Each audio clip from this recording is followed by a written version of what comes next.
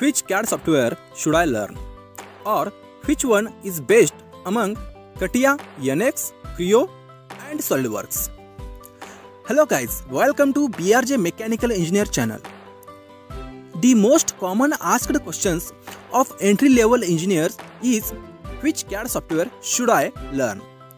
If you ask your seniors, they will suggest you the software they are using. And if you ask me, then I will suggest you NX because I am using it. Next one, if you visit institutions and ask them, then they will suggest you according to software used by their recruiter companies. So again, which one is the best? The most common software suggestion from many institutions or seniors is CATIA. So CATIA is the best one of all. Is it like this? No. Only thing is we have number of openings with CATIA and followed by NX Creo because many companies are using this software. Once we learn one software, then we become familiar with all the things of that CAD software. It will become very handy for us to use it without any trouble. And then we start getting jobs for other softwares rather than what we have learned. So we get disappointed.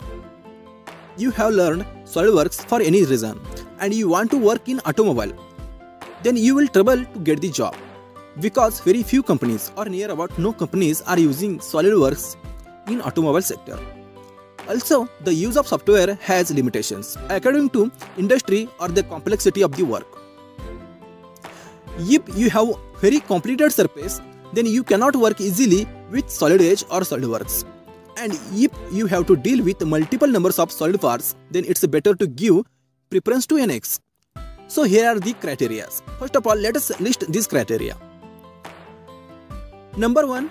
Number of job openings comparatively. Second one, type of sector you want to work. Third one, if you have some good references depending upon software. So let us discuss this criteria. First, number of vacancies. You will find most of the opportunities with CATIA and NX, followed by Creo and SolidWorks you will find very less opportunities with Solid Edge and Inventor. Second, type of sector you want to work. CATIA and NX are used for very large complex assemblies having many thousands of parts. You will see auto companies and aviation companies using CATIA and NX. CATIA has strong surface modeling and NX has strong solid modeling. Creo is used in health and medical related companies. Also in some automobile companies due to its uh, strong parametric modeling. SolidWorks is more geared towards designing individual parts and relatively smaller assemblies. It is famous for its ease of use and it has more features for designing welds and joints. So most of heavy machinery companies use SolidWorks followed by Inventor. Third, if you have good references, then learn those softwares used by your friends or seniors so that they will refer you to their companies.